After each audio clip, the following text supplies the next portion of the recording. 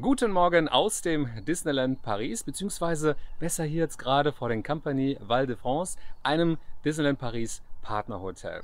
Ich bin heute nicht alleine, sondern einmal mit Sabrina aus Hallo. Köln und mit dem André aus Österreich. Hallo. Halloween. Nein, Halloween ist natürlich momentan auch äh, die Saison, die wir hier momentan noch haben. Und ich würde mich natürlich super freuen, wenn wir heute es vielleicht schaffen könnten, die Ursula-Show zu sehen, äh, vielleicht noch ein bisschen von der Mini-Parade. Ähm, die Villains, äh, mit denen kann man heute äh, Fotos machen, also den Bösewichten aus den Disney-Filmen. Äh, ja, und ich habe heute auch eine Shopping Queen dabei mit der Ja. Sabrina. Ja, ähm, die wird nämlich so einige äh, Shopping-Läden hier abklappern. Äh, da bin ich mal auch ganz gespannt. Also es gibt viel zu sehen. Und übrigens äh, würde ich mich sehr freuen, wenn ihr meinen Kanal abonniert. Time for Disney. Und wenn ihr kein Video verpassen wollt, dann einfach die Glocke aktivieren ähm, und dann seid ihr glücklich und zufrieden. Aber ich würde sagen, es ist wieder Time, for, Disney. Wir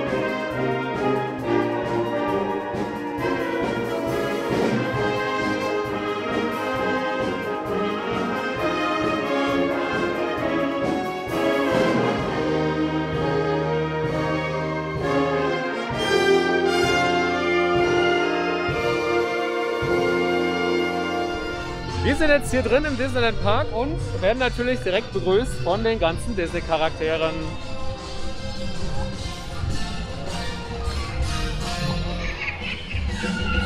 Pluto.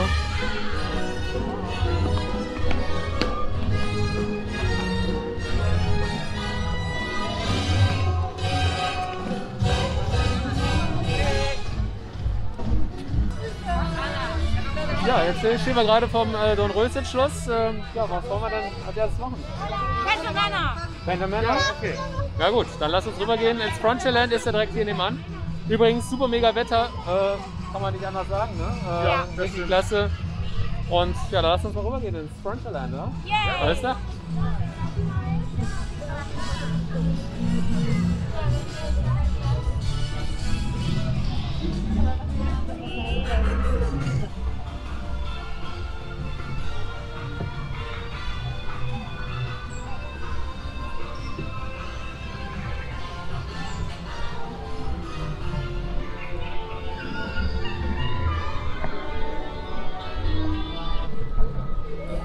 Ja, eigentlich wollten wir jetzt gerade zum Phantom Manor gehen, aber in dieser Magic Hour, da ist momentan Phantom Manor noch nicht geöffnet.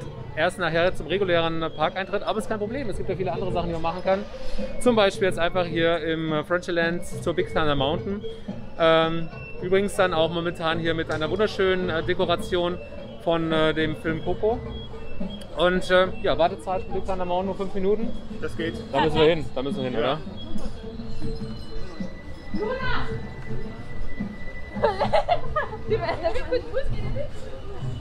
Wie man gehört hat, Luna will auch dahin.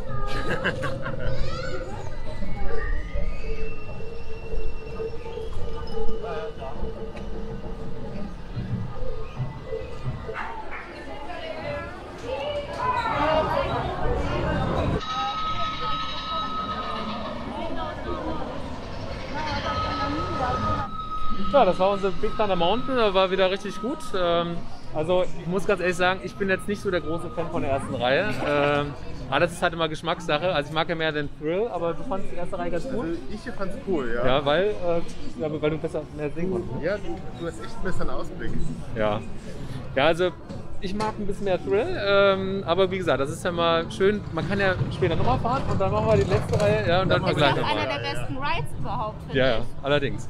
So, und wie gesagt, wir haben ja die Sabrina dabei, die Shopping Queen, ähm, Genau. beziehungsweise die Mitbringfee. Ja, Und wir Ähm. gehen jetzt eine kleine Runde shoppen. genau. Vielleicht kannst du noch mal erzählen, wie, wie man sich das genauso vorstellen muss. Das heißt also, Es ähm, ist hauptsächlich so, wenn du zum Beispiel etwas aus Disneyland haben möchtest, aber nicht die Möglichkeit hast, hierher zu kommen, schreibst du mir am besten mit einem Foto von einem Gegenstand und sagst mir, was du gerne hättest. Dann mache ich das so wie jetzt. Ich gehe hierher, ich finde den Gegenstand, ich mache ein Foto, ich schicke dir das. Du gibst mir dann das Geld am besten über PayPal. Ich kaufe es dir dann. Sobald ich zu Hause bin, verpacke ich es und dann schicke ich es dir zu. genau. Also das war jetzt übrigens die unbezahlte Werbung, ja. ähm, gut. Ähm, ja, sollen wir mal direkt hier in den Shop reingehen, ja? Äh, Im Euro, Eureka Mining Subplace äh, hier im Frontierland. Da schauen wir mal, was wir da so alles äh, finden, ne? Bestimmt einiges. Ja.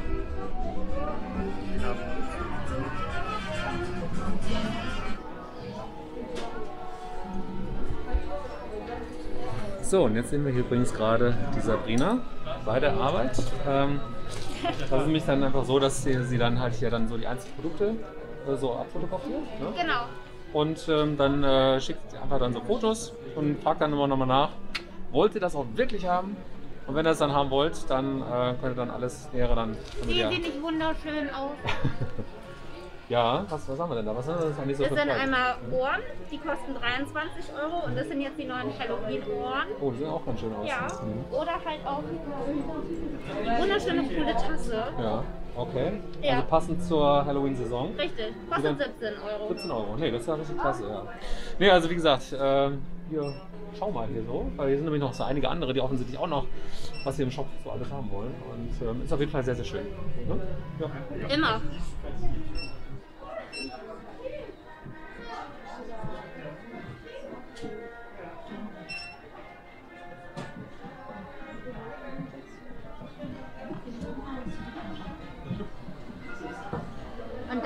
Schild für den Shopping Service.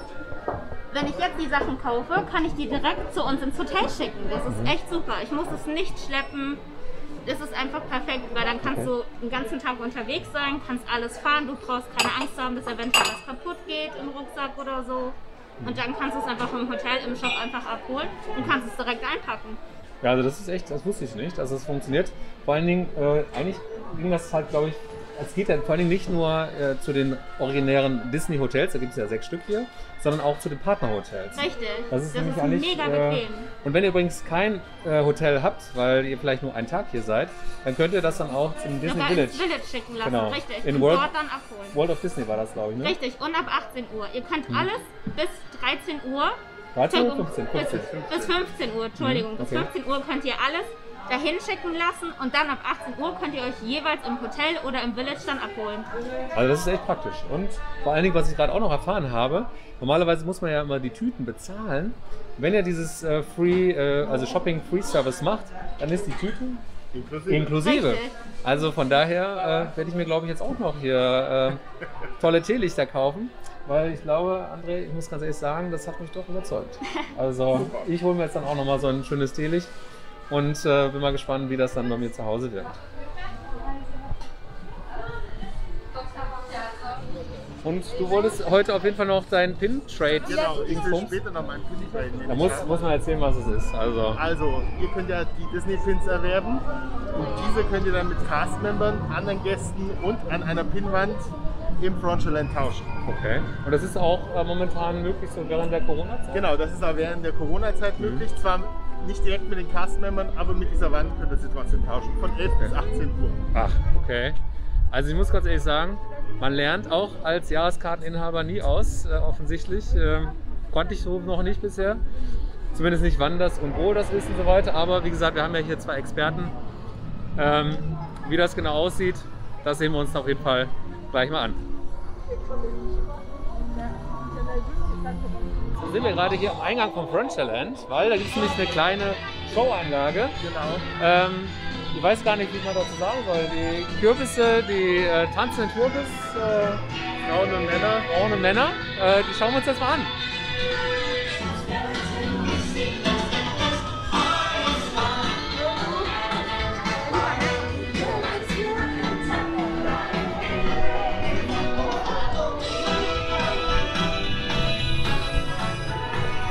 Ja, das war die kurze Einlage, die kurze Showeinlage.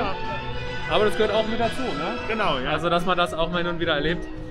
Und äh, jetzt müssen wir mal gucken, die Sabrina wieder abgeblieben ist. genau, ne? die suchen wir. Genau.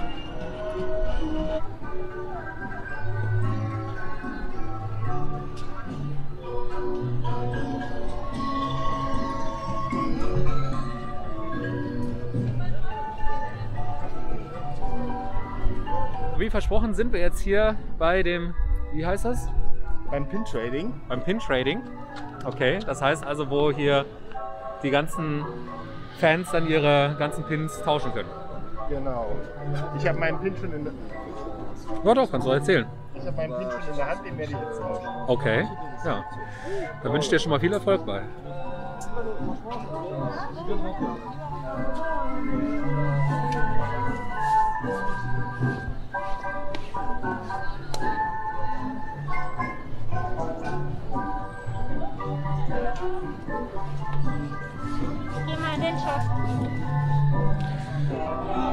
Ja, wie funktioniert das jetzt alle mit diesen Pins? Also, ihr seht hinter mir diese Wand. Dort kann man sich einen Pin aussuchen. Es gibt drei verschiedene Kategorien. Einmal die ganz normalen Pins, die Sonderedition oder halt limitierte Pins. Und je nachdem, was man für einen Pin hat, dagegen kann man einen tauschen. Okay. Und das ist dann äh, völlig egal. Also ist der Preis, also oder gibt es verschiedene Werte von diesen Nein, Pins? Das ist egal. nicht. Pin ist Pin. Pin ist Pin. Und äh, dann Genau. gebe ich meinen Pin ab und krieg dann irgendeinen Pin. Genau, du bekommst dann Okay. den, den, du gerne haben. Okay, und äh, wer gibt denn seine Pins dann hier so ab? Also jeder, der so Pins dann mal gekauft hat. Ich denke mal schon, ja. Weil ich weiß irgendwie auch Fastmembers, die machen da auch mal mit. Äh, Genau, du kannst aber Castmember tauschen, die das Band haben. also, also man kann dann direkt zu denen hingehen normalerweise. Genau, in den Shops oder in Okay. den Hotels. Okay. Ist aber zurzeit nicht, nicht erlaubt. Okay, wie Corona, ja. Genau. Also normalerweise geht das, aber ist eigentlich eine schöne Sache, dass es was gibt. Wie gesagt, ich wusste es halt nicht. Ähm, man lernt hier nie aus und ähm, mal gucken, vielleicht kaufen wir auch mal so einen Pin und tauschen den dann einfach hier. Ähm, gucken wir erstmal, was es da überhaupt so für Pins gibt. Ähm, und ähm, ja, bin mal gespannt, welchen Pin du dann gleich bekommst. Ich auch, ja. Ja. Can I get uh, Paris? For?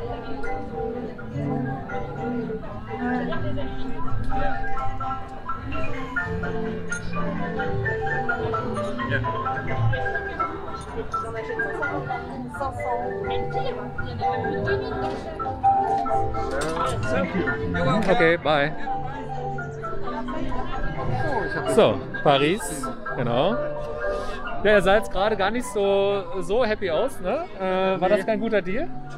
Offensichtlich Keine nicht. Ahnung, Keine Ahnung. anscheinend nicht. Aber du hast ja gerade gesagt, warum das so wichtig ist, dass man äh, immer so früh hier ist. Genau, weil früh gibt es eigentlich noch die besten Pins, habe ich gemerkt. Weil ich glaube, Disney füllt über Nacht die Pinwand dann auf. Also Okay. man sieht jetzt auch, jetzt ist die Schlange relativ lang. Ja. Also wir waren noch richtig da, Okay. ich. Ja, Ja, ich würde sagen, jetzt sind wir weiter, oder? genau. Ja.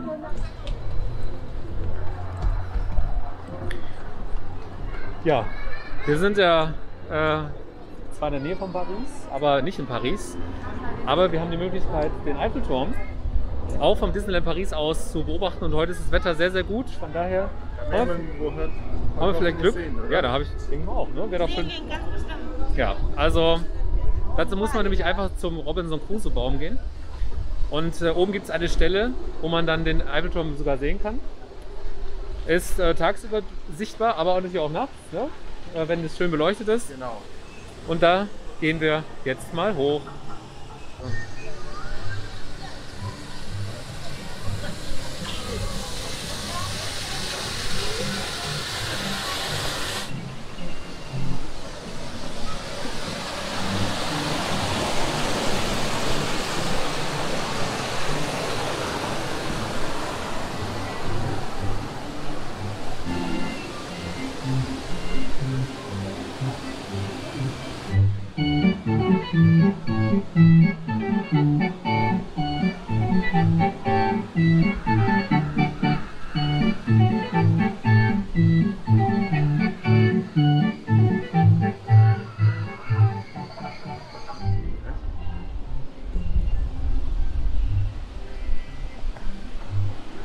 So, wie versprochen ist das jetzt hier die Stelle, wo ihr hier den Eiffelturm sehen könnt.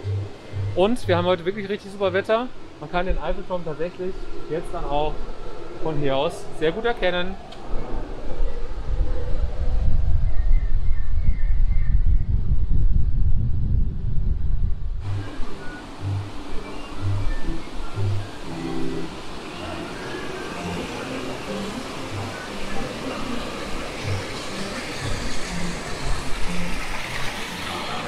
Auch wenn es nur so eine Walkthrough-Attraktion ist, ist es aber trotzdem aber ganz schön. Ne? Und wie gesagt, wir haben jetzt ja auch tatsächlich den, den Eiffelturm gesehen. Ne? Klein. Ganz klein. Äh, man muss natürlich wissen, sonst äh, übersieht man den natürlich. Aber im Aber Dunkeln ist es auch schön. wunderschöne Aussicht von da oben. Ihr müsst das machen. Genau. So, und äh, was wir jetzt noch machen, das schauen wir uns einfach mal an, ne? oder?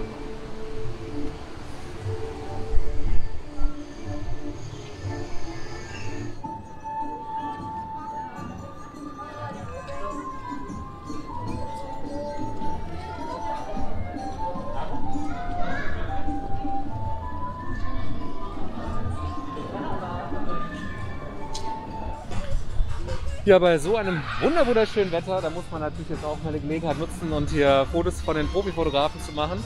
Es gibt im Grunde hier äh, so mehrere äh, Fotopoints, äh, Selfie-Points und so weiter. Und es sind dann halt auch hier die Profifotografen, die dann hier Fotos machen können. Das ist im Grunde ganz einfach. Man äh, hat dann seinen Fotopass, äh, legt das dann so ein, äh, so einen Behälter rein und äh, dann kriegt man das Foto dann direkt im Laufe des Tages schon auf seinen Account. Wenn ihr übrigens eine Jahreskarte habt, die Infinity-Jahreskarte, dann braucht ihr für den Fotopass nichts bezahlen. Der ist nämlich inklusive. Genau, weil es gibt manche Leute, die das leider zu spät erst wissen und sich vorher schon so einen Fotopass gekauft haben. Wir wollen jetzt mal keine Namen nennen. Ähm, nein, wie gesagt, das ist eigentlich eine super Sache, weil äh, ich finde, diese Fotos sind immer richtig professionell gemacht. Und, Lohnt sich richtig. genau, und dann hat man ja auch, haben wir auch dann noch hier diese äh, Fotopoints, äh, wo dann diese Figuren dann äh, in das Foto mit integriert sind. Magic Shot. Die Magic Shots, die machen wir heute natürlich auch noch. Aber jetzt machen wir erstmal ein richtig schönes Foto hier vom Dornröschen-Schloss. Denn äh, ein Foto mit dem Dornröschen-Schloss. Und das mit der Sonne. ist das mit der Sonne. Das ist das Must-Have.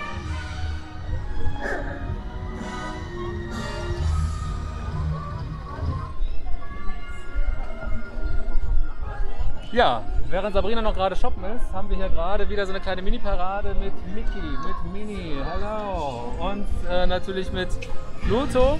Den haben wir dann noch. Ja, und dann natürlich von, äh, äh, von Toy Story natürlich. Ähm, also, äh, das ist halt wieder das, äh, was wir meinen, so diese kleinen Mini-Paraden. Ne? Du hast ja schon einige gesehen. Ja, genau. Und da gucken wir jetzt nochmal hier. Haben großes Tempo drauf, weil natürlich äh, nicht so viele Menschenansammlungen äh, entstehen sollten. Ja. Also es lohnt sich auf jeden Fall immer mal irgendwo auch stehen zu bleiben, weil das sind immer so die kleinen Aktionen, äh, die man dann einfach so mitnehmen kann. Ne? Genau. Ja. Ich bin ja noch nie mit diesem Doppeldeckerbus gefahren. Ähm, deswegen, Machen wir es ja. ja, das, ja, ich würde sagen. Also das würde mich mal sehr, sehr interessieren, weil wenn wir jetzt die Gelegenheit haben, ganz oben zu sitzen und dann mal so einen Blick über die Main City USA zu haben, auf das Schloss zu, ich glaube, das ist richtig toll, oder? Ja. Was- Was bei dem schönen Wetter heute. Ja, okay, dann machen wir das. Ja. Und da kommt schon der Bus.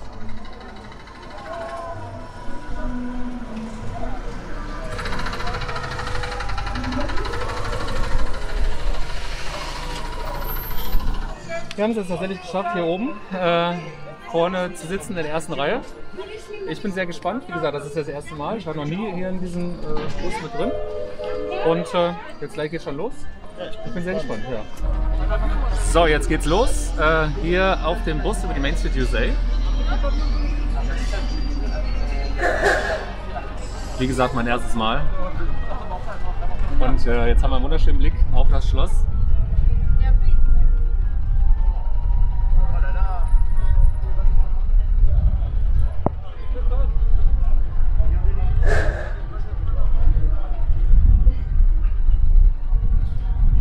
Übrigens, ich weiß nicht, ob du das wusstest, aber hier in der Main Street USA, da sind ja äh, 200, ich glaube 250 Farben verarbeitet worden. 250 verschiedene Farben findest du hier. Das ist natürlich schon echt eine ganze Menge. Und ähm, 200.000 Glühbirnen findest du hier. Also nachts ist es natürlich mal sehr, sehr schön oder am Abend. Äh, das sieht natürlich immer sehr, sehr klasse aus. Wir sehen jetzt natürlich auch die schöne Dekoration zu Halloween.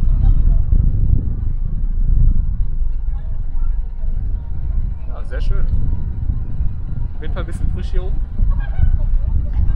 Aber es gehört wahrscheinlich dazu.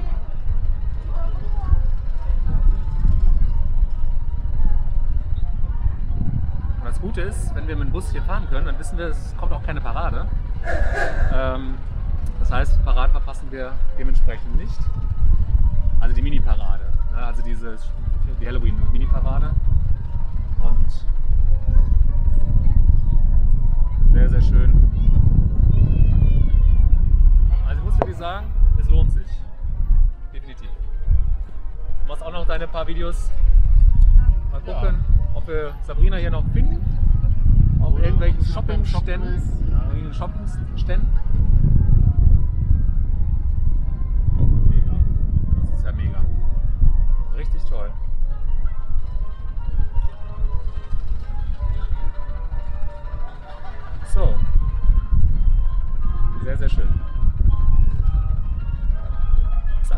andere Perspektive, die man sonst gar nicht so, so wahrnimmt.